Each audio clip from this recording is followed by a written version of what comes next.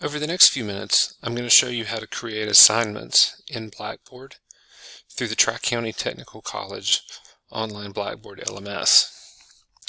To get started, we're going to go into Blackboard and we're going to go to an active course. I'm going to do this within our Blackboard sandbox. This is the training environment that we work in. So I'm going to go down into my actual training folder. Now, in order to create content, you first off have to make sure your edit mode is on. You'll notice that I don't have any actual menus up here. If you ever go in and you don't have that, always make sure that your edit mode is on. Now you'll notice I have build content, assessments, tools, and partner content. Assignments actually show up under assessments. So I'm going to click on the assessments tab and come down to assignment that takes you to the assignment screen. You'll notice anywhere with this yellow star is a uh, required field. There are a few of those and you'll notice those as we go. So I'm going to just call this sample assignment for training. You do have to have a name and you can also choose a different color. So if you want to color code these, you're welcome to do that. You have set colors, or if you know a specific color code, you can do that as well. I'm actually going to set this one as kind of a dark faded red. That's what color the title of the assignment is going to be. Now, you want to be careful not to color code them based on some specific content because a, um, a screen reader is not going to be able to read the color code and the color code can't have a specific meaning. So just be careful that you don't have a specific meaning show up in there. The next window is probably your most important window. This is where you're going to put your content for the assignment as well as any instructions. So always put the directions at, this, at the top. Uh, view the video and respond to the questions on the attached worksheet. Submit the um, completed worksheet to the assignment when by the due date. Now I'm going to go in and italicize that just to, you know, for um, just to bring attention to it. Doesn't change the meaning, but it does draw attention. Now you'll notice I said view the video. That means I want to put something in here that is, is a video. So I do have um, the option of doing a YouTube video or some other kind of video. So I'm going to go into YouTube and just find a video on Sure, why not? Let's do the Spanish flu. Um, here is a very short little valuable lesson on the Spanish flu. So what I'm going to do is you actually do have to go up and click the um, URL. So I'm going to come back over here and you'll notice um, i have copied the URL. I have the address. You have a, um, a media embedded media link here or you actually have a YouTube videos link here um, you can browse them here if you want to. Seems like it's moving very slowly, so I'm going to show you the alternate way of doing it. If you come here to the Insert Media, you just need the URL. So I'm going to pull it down so you can see it better. You can do Insert the URL and Browse, and you'll notice, hit two buttons at once, you'll notice here is your, um, your preview. Okay, um, it is an, um, you can do it a couple of different ways. It is an iframe. That's going to be your default for this particular type of video. I'm going to hit insert. Now you'll notice that the uh, the video doesn't show, it shows a placeholder. Okay, it's this yellow box. If you want to make the video bigger, you can right click your mouse on the video and now you'll notice you have your, your uh, corner boxes and you can actually drag that to make it a bit bigger if you'd like. It is a little bit small there initially, so I do want to make it a little bit bigger. So there's my video. Okay, so I put in here, we're going to view the video and respond to the questions in the attached worksheet. So the question is then, how do I attach the worksheet? I've got a couple of different options. I can insert a file here if I'd like by attaching a file here. So I could insert a file directly into the assignment, in which case, I'm going to move this file back down here, um, I can insert from my computer or from my content collection. So let's say I want to browse my computer. And let's say I'm going to go into, I'm just going to choose a particular handout. Um, let's say a student guide. This is not going to be directly related to the Spanish flu, but that's okay. It's just to show you how it works. I'm going to actually grab this. This is a student guide to Blackboard assignments. Um, that is the name of the link. Do I want it to open another window? Yes, I do. And I do want to include alt text. Alt text just tells them what the uh, the file looks like. So it's going to give some kind of image attachment to it. So I would, if this were Spanish flu, I would say Spanish flu um, video handout. Okay.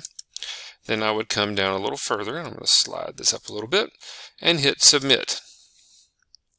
I'm going to hit submit one more time and you'll see right here, it, it's going to show the actual name of the file. Okay.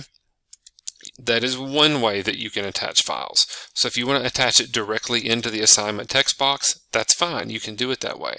The other way to do it where they have to open it and download it directly is to attach down here in assignment files.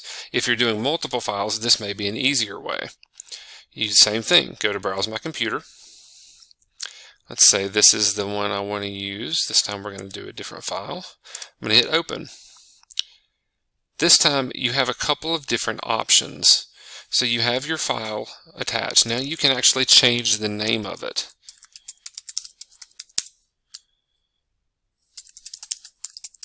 So I can actually call it the Spanish Flu video handout. Okay.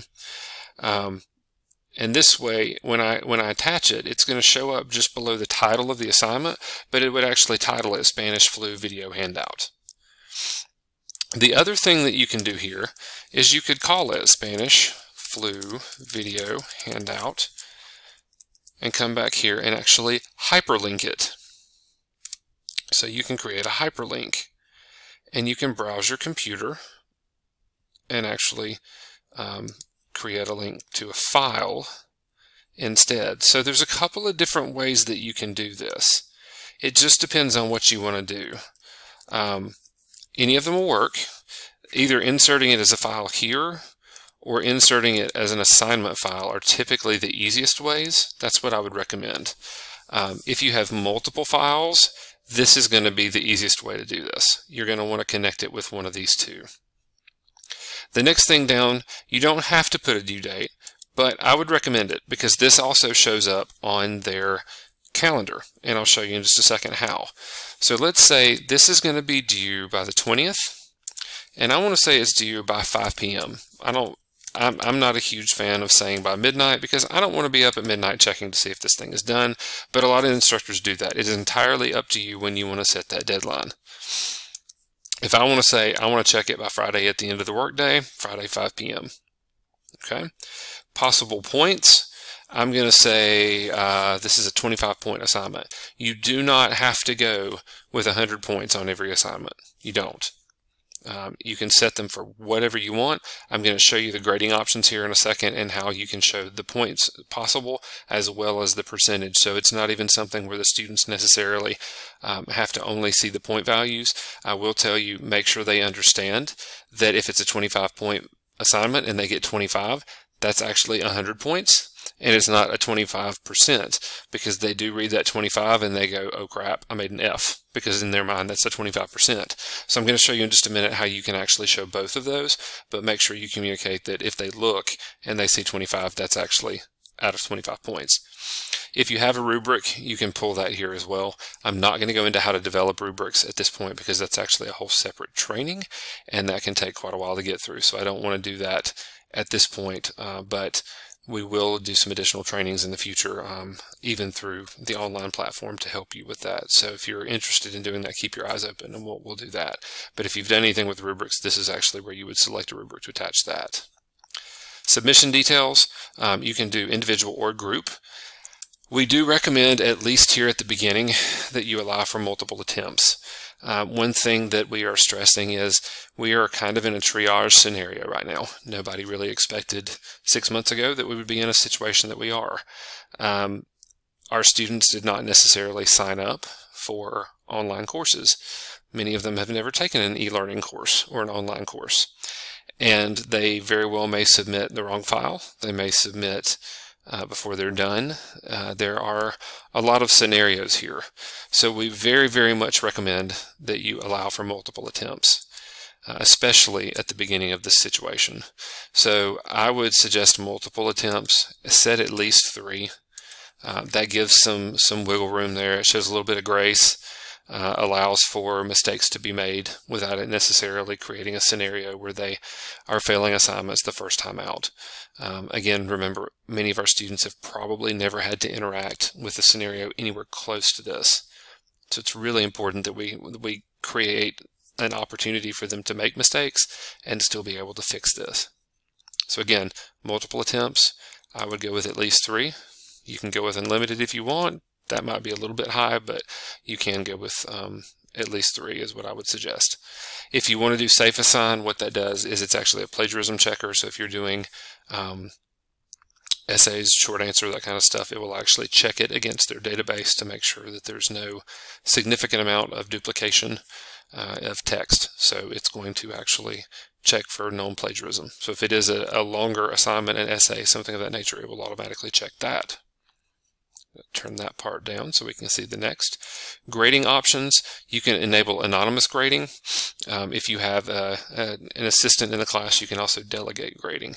That we don't tend to do very much at Tri-County. And then the last part here is display of grading. The default primary grade is score you do have the option of a secondary score of percentage, and that's what I was just talking about. It'll display in the grade center only, but if they happen to go look in my grade, it'll actually show that for them. So they could see the score and then the percentage. It'll help them understand what their grades actually look like. And then you have to show, is it going to be included in the grade center? The default is yes. If it's something you want to use as a formative assessment, but you don't want it to count against them, um, or it's a practice uh, assignment, you don't want it to count on their grades, you would uncheck that. You also want it to show in the student grades. If you don't want it to show, then you turn that off. Um, if you want to show the average and the median statistics, you can do that. I'm not a big fan of showing that kind of information to the whole class, but if you feel like it's necessary, you can do that. If this is checked, it's going to become available immediately. Uh, if you don't want it available yet, you can uncheck that. If you want to limit availability, so let's say I want this one to be available tomorrow at 8 a.m. And I want it to go away um, on the 20th at 4.59 p.m. It's due at 5 p.m. So if they get it at 4.59, they they can't possibly get it done by 5. So that would be fairly, uh, that would be a fair placement. So they would have two days to do that assignment before the due date. Okay, It would show up at 8 a.m. It would close at 4.59. They would have to have it submitted by 5. So um, that would be a fair assessment. In fact, I'm just going to go ahead and set this at 5, and that way if somebody tries to submit it at 5, it would, it would show. Uh, once you have all of these things in place, let's double check all of our settings and all of our pieces. We have our video included. We have our directions. We have our our assignment um, PDF attached. We actually have attached two different ways. We have our due date and our time. We have our possible points. We have our grade display information. We do have it included in the grade calculations and showing in the student grades. We have when we want it to show as an active assignment. And now we are ready to submit our assignment it will go to the bottom of the page always goes to the bottom of the page. So you want to scroll all the way to the bottom. You'll notice it shows everything in one place. So our video is right here. Okay. Uh, we also have our here's our handout remember the link to the handout is here you also have the link to the handout here. You don't necessarily have to do both, but you can see the difference. One of them attaches at the top, one of them attaches at the bottom. It's the same file. If you click on this, it's going to open in a separate thing. They would have to download it. If you have a PDF that can be completed online, they do need to um, download that PDF and complete it on their computer in order to be able to save those changes. So do keep in mind that if it's a PDF that they have to complete online, like on their computer itself and upload a completed PDF, um, they would need to be able to download it to their hard drive. They can't complete it in the, the browser and then upload it. It won't save changes that way. I have worked with some faculty who are trying to do it that way. Perfectly fine to do. Students can complete it and then upload it back in, but they have to do it on their hard drive. It can't be done in the, in the browser. Now, real quickly, I want to show you what that looks like in the calendar. So I'm going to scroll all the way back up to the page. We have the course calendar here, and it should show, okay, so 5 p.m. you'll see right here. I can click on that. Sample assignment for training. Um, the students would obviously not see edit this assignment. They would see a link to the assignment. Um, so you can see here what the calendar it is, what the due date and due time is. If there was a description of the assignment, it would go here, but they would actually be able to click the link to go directly to it. Um, the good thing is it shows on the actual calendar for them. So it shows on their home page as well. Any assignments that they have that are um, are with a due date are going to show up on their calendar and it will show up with a specific due date and it shows up on their calendar no matter what the course is. They can choose which courses they want to see and which ones they don't. Uh, but it is one more tool that they can use to help them stay up to date on what's going on. And if, if we're pushing everything through Blackboard, it, it centralizes their ability to keep up with everything. So it does help them out. Um, that is a relatively quick and um, brief, but hopefully um, thorough enough to get you started uh, exploration of Blackboard assignments. Uh, we will have more training going up over the coming days and weeks. Hopefully this uh, scenario will not go into the coming weeks, but if it does, we will be providing you with additional support and training as well as some online real-time support sessions as well where you can come in and ask additional questions as you uh, run into problems or, or you have some ideas of things that you would like to try. So keep your eyes open, keep your, uh, your ears open in Spark as well as the IT resource page for Blackboard and uh, let us know if we can be of any more help and we will be in touch with more training as we go. Thank you very much.